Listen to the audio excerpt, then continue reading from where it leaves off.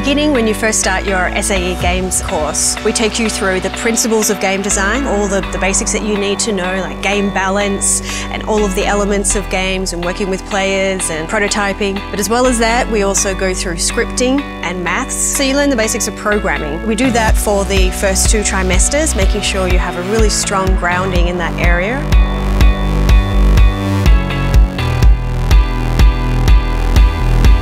We make sure students are learning the latest technologies in terms of what's used in industries. We go through Unity, uh, Unreal, uh, as well as Maya, 3D Max, lots of different tools. To augment that, we look at you know up and coming and you know, you know fringe tools that are coming out, VR, Arduino. So when you go through the course, you're not only ready to slot in and use whatever technologies companies are currently using, but you're also able to take advantage of the new and emerging markets.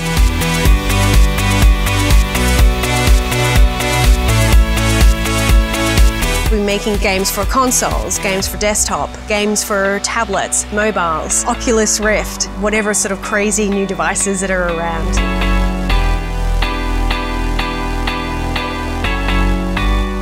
We simulate the working environment as much as possible. You go straight into making games and you learn from the actual doing.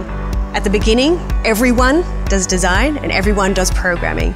So you both have an insight into how each other operates. But then as we move forward, then you go through and you specialize in those skills. By the time you finish the course, you have already experienced what it's like to work in a studio for at least a year.